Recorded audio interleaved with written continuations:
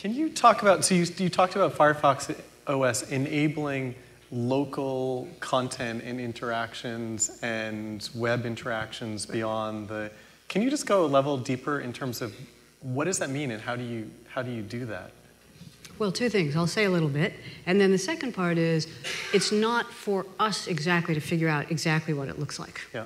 Right. So, so there's a bunch of problems or, or uh, opportunities or ways to create economic value that sitting here you, know, you, we won't know. So there's a couple things about that. One, web technologies are broadly known. They're, they're interoperable. There's, oh, I don't know, eight, nine million web developers already in the world. Mm -hmm. So the knowledge base spread out is much easier. We don't have the same distribution limitations.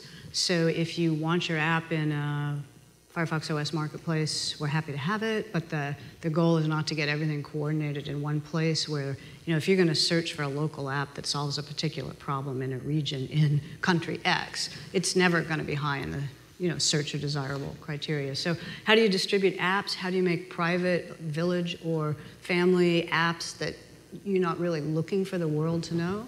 So there's a set of activities that are designed for and fit in then there's also the interoperability with the web content and the, the ability to get to content.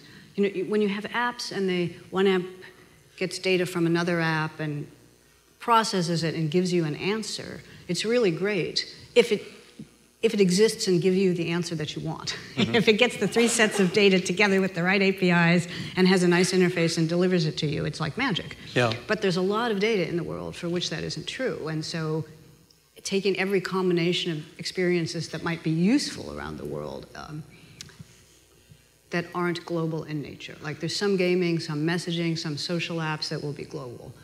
And so it seems that part of it is there's not a centralized kind of approval process store for the, the applications and the, the uses. And it also uses web technology, which is more dispersed globally as opposed to um, specific iOS development right. skills? Or? Well, no centralized control system really for anything. That's yeah. true for the technologies, what you use, how they develop, if they make sense. It's true for distribution, and it's also true on, on the revenue and monetization side.